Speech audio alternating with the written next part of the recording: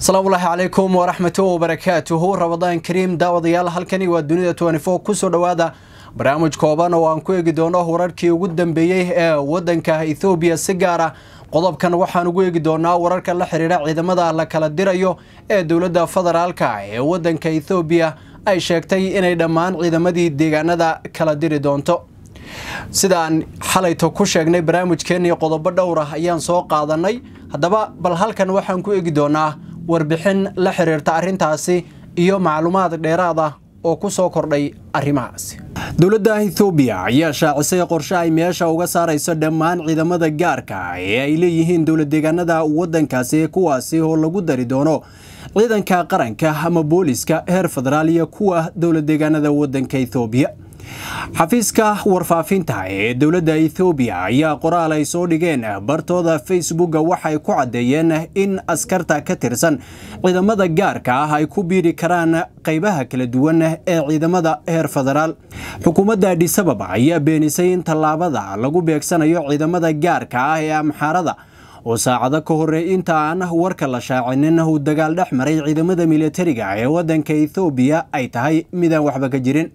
Deegaanada amxaarada ayaa u muuqday mid ka fogaanaya xukuumadda uu hogaaminayo ra'iisul wasaare abiy axmed tan iyo markii la saxiixay. Heshiiskii lagu soo afjarayay dagaalkii waqooyiga wadanka ethoobiya muddada labada sana ka socday labada kun labayo labaatankiina la soo gabagabeeyey deegaanada amxaarada iyo tigrayga ayaa si weyn ugu dagaalamay qaybo ka mid a waqooyiga wadanka ethoobiya intii uu socday dagaalkii ay ku dhinteen kumanaanka qof. Xisbiga mucaaradka ah ee u dhaqdhaqaaqa amxaarada ee naama ayaa ku eedeeyey xukuumadda adhisababa in qorshaha dib u habeynta ciidamada ay dowladdu shaacisay iyada oo aan loo diyaargaroobin layskana warsanin heshiiska bretoria ay ku gaareen xoogaga tigrayga iyo xukuumadda adhisababa ayaa dhigayay in hubka dhigis lagu sameeyo dagaalyahanada t b l f qodobkaasi oo ay dowladdu sheegtay in ay si buuxda u dhaqangelisay ayna dhammaan ciidamadii deegaanada tigraygu hubka dhigeen. Ciidamada gaarka ah ee liyu booliska ee deegaanka soomaalida ayaa qabta howlo kala duwan oo ay ka mid tahay ilaalinta xuduudaha bishii julaay labada kun labaiyo labaatankii guutooyin ka tirsan kooxda al-shabaab ayaa gudaha u galay deegaanka soomaalida waxaana markii dambe jebiyey ciidamada liyu booliska ee deegaanka kadib dagaal maalmo socday. Waxayna ku laabteen kooxihii al-shabaab gudaha soomaaliya ciidamada gaarka ee deegaanada ayaa qolo walba danahooda u ilaalinayay ayna u arkayeen inay muhiim u tahay jiritaanka dhinaca kaleeto amaba ciidankaasi in uu deegaankoodu leeyahay waxaa kaleeto oo jirta in maamuladu ay kala duwan yihiin kala fikir duwan yihiin aragtida dhinaca siyaasadda ee xilligan marka la fiirinayo. Sidoo kaletana ay jirto kala qaybsanaan iyo kala duwanaansho dhinaca diimaha iyo dhaqanka oo ka jira guud ahaan wadanka ethoobiya taasi oo deegaan walba uusan ku raalli noqon karin. Waxa uu deegaan kaleeto u soo maleegay waxaa kaleeto meesha ku jirta sidaan xalay idiin sheegnay in weli uusan caddayn warka lagu kala dirayo ciidamada dowladdeegaanka oromada. Taasi oo ay dadka qaarkood leeyihiin waxay ku marmarsan doonaan in ay ciidankaasi haystaan iyaga oo sheeganaya in jabhadda oola ay dagaal culus kula jiraan. Sidaasi darteedna loo kala diri karin ciidamadooda laakiin deegaanada kaleeto aysan haba yaraatee wax dhibaatii ka jirin. Ayna ciidamadoodu noqon doonaan kuwo qayb ka ah kuwa wadanka ethoobiya ayna ilaalin doonaan iyagu guud ahaan deegaanada. Ciidamada gaarka ee deegaanka soomaalida ayaa si weyn u ilaaliya xuduudda dheer ee isku xirta ethoobiya iyo soomaaliya. Sidoo kaletana gudaha deegaanka soomaalida ayaa inta badan amnigiisa iyagu gacanta ku hayaan militariga wadanka ethoobiya ayaana goobo kooban oo keliya ka joogay deegaanka muddooyinkii ugu dambeeyey dadka shacabka ah ee ku nool wadanka ethoobiya gaar ahaan dowlad deegaanka soomaalida ayaa waxaa la isweydiinayaa sida ay raalli ugu noqon karaan ciidamadii militariga ee eedeymaha badan ay ka sheegan jireen kuwaasi oo dad badan oo shacab ah lagu eedeeyey in ay marar kala duwan ku xasuuqeen gudaha deegaanka soomaalida. Sidoo kaleeto ciidamadaas iyo dadka shacabka ah ee ku nool dowlad deegaanka soomaalida ayaa iyadana la isweydiinayaa qaabka ay isu fahmi karaan marka la fiiriyo sida loo kala luuqado duwan yahay deegaanada kaleeto waxaa laga yaabaa inay kaga wanaagsan yihiin luuqadda amxaariga deegaanka soomaalida. Marka shacab ahaan iyo bulshada la fiiriyo sidaasi darteedna aysan suurtagal noqon karin in deegaanka soomaalidu ay si dhaqsiya leh ula qabsadaan ciidamo militari ah oo kor looga keenay haddaba dad badan ayaa waxa ay mar kaleeto na soo weydiinayaan su'aalo dhowra oo kala duwan oo la xiriira qaabka iyo sababta ciidamadan loo qaaday. Waxa ugu horreeya ciidamadan loo qaaday waan idiin sheegnay oo waxay tahay abi axmed khatartii t b lf kaga soo baxday. Darteed ma aqbali karo mar kaleeto arrimaha la xiriira ciidamo awood leh oo wadanka ethoobiya ka jira kuwaasi oo isaga mar walba dhibaato ku ah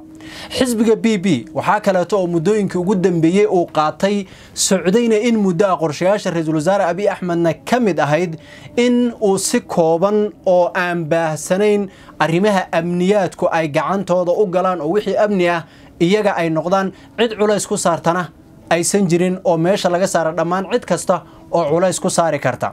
Sidaasi darteed ayay tahay muhiimadda ugu weyn. Laakiin madaxda deegaanada ayaa sida aan xogo kala duwan ku helay barnaamijkii kan ka horreeyeyna aan idinku sheegnay ku kala aragti duwan arrintaas ku kala qaybsan qaar badan oo ka midina marna aysan soo dhoweyneyn waxaa jira dadka qaar oo arrimaha siyaasadda deegaanka iyo tan waddanka ethoobiaba ka hadla oo sheegaya in ciidamada deegaanada gaar ahaan deegaanka soomaalida oo lagama maarmaan ay u arkaan inay ciidamadu sii joogaan in la dhimo ciidamada xeryo gooniya loo sameeyo meelaha kala duwan ay joogaan iyo dharaaqyadooda la xadido marka loo baahdana laga soo saaro si ay dadka iyo deegaanka u difaacaan. Shacabka soomaaliduna uu ka dhaqan duwan yahay. Sida isku fahmaana adag tahay ethoobiyaanka kaleeto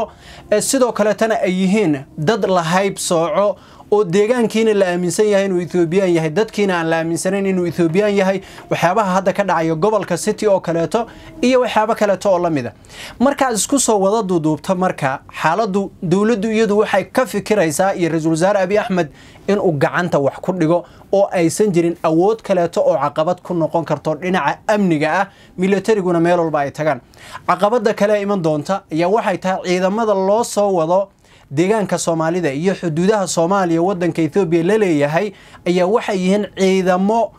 militari ah tababar badan aan qabin. Xilligii dagaaladii waqooyigu ay socdeen ciidamadii faraha badnaa ee toddobaad walba boqolka kun la soo saarayay ah kuwaasi oo mushaaraha dowladdu ay u weday bajed ay u weday qorsho la'aan lagu qoray oo dagaalkii oo socda la qoray. Caqabadihii ciidankaas abiy axmed oo hubaysan iskama fasixi karo oo dhibaatooyin kaleeto ayaa iman kara. Sidaas darteed waxa uu doonayaa inuu shaqooyin u abuuro oo uu xuduudaha geeyo halkaas ay kontarobaanada iyo waxyaabaha kaleeto ay shaqo ka abuurtaan. Ciidanka noocaasa ee la yidhi dadkaas idinku wixiina dhacsada halkaasaan anigu idiin sallaxaya oon idin geynayaa ee jooga ee mooyaale marka la fiiriyo oo wadanka kenya xuduud la leh.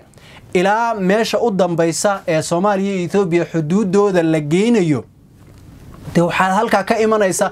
in dhibaatooyin kala duwan shacabku ay ciidankaas aqoonta badan aan lahayn khibradda badan aan lahayn experiencigooda uusan badnayn ee dhinaca wacyi ahaan ciidan la diyaariyay. Inkasta oo ciidanka militariga ethoobiya mar walba uu yahay ciidan aqoon ahaan aan aqoon badan lahayn oo dad aqoon lagu xulanin waddamada ciidankooda aqoon baa lagu xusha laakiin iyaga aqoon ma jirto. Waa askari tababar baa la siiyaa uu iska socdaa. Sidaas darteed nin aaminsan deegaanku inuu ethoobiyan yahay dadkiina ethoobiyan ahayn tababarkiisu uu kooban yahay khibradiisu ay yar tahay akhlaaqiyaadkiisu ay kooban yihiin. Mushaar aan la siinayna la yidhi adigu ismaaree dee dadka shacabka ah khatar ayuu u keeni karaa. Waana mid loo baahan yahay in la iska fiiriyo laga taxadaro dad badan oo aqoon-yahana oo khibrad u leh arrimahan oo amniyaadka weliba wax ka yaqaana oo siyaasiyiin oo xilal kala duwan deegaanka iyo dalka ethoobiya ka soo qabtay oo arrimahan aan wax ka weydiinay. Waxay aaminsan yihiin inay arrintani khatar tahay. Laakiin dowlad deegaanka ayaa laga rabaa iyo madaxweyne musdaf iyo xukuumaddiisa qaabkii ay u maarayn lahaayeen shacabka deegaankuna uga nabadgeli lahaayeen hagardaamooyinka iyo caqabadaha ka iman kara ciidamadaas kala duwan. Waa mahadsantiin